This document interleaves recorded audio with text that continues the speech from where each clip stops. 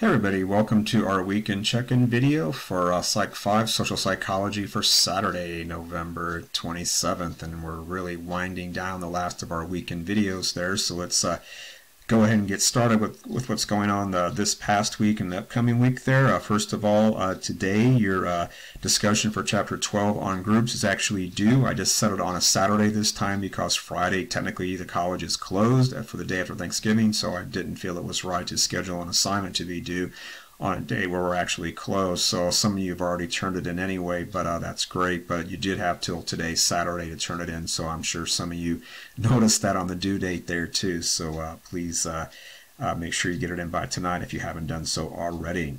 Uh, next up here is that our next two chapters, chapters 13 and 14 on altruism and aggression, I've got both the discussions and quizzes for those chapters to be both due uh, this coming Friday next week there, uh, December 3rd. So just a heads up there, you will get a reminder announcement.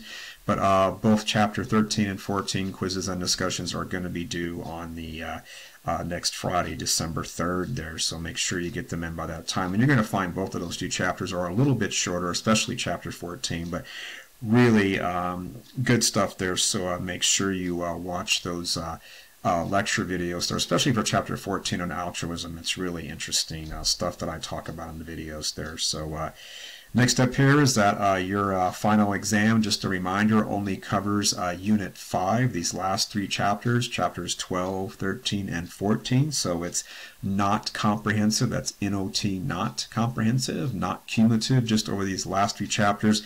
And the structure of the final exam will be just like your previous four exams. There's 50 questions, you get 60 minutes multiple choice, some true, false, some short answer essays, nothing you haven't seen before. And when you're done taking the exam, you're done with the course. So it's uh, pretty much uh, almost over with here. So um, if you can, that's pretty much all I wanted to say for this time. Uh, pardon for the pause there.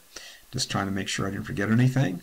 Uh, so that's pretty much all I wanted to say uh, this time uh, for this weekend video. Not a whole lot there. If you uh, are able to make it to our live session this coming Monday at 1 o'clock, it would be great to see some of you there. Otherwise, uh, if you need anything, just reach out via email. I'll be glad to get back to you.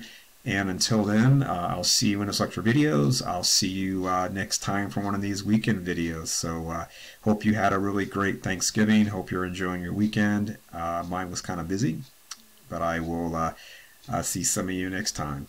take care. Bye-bye.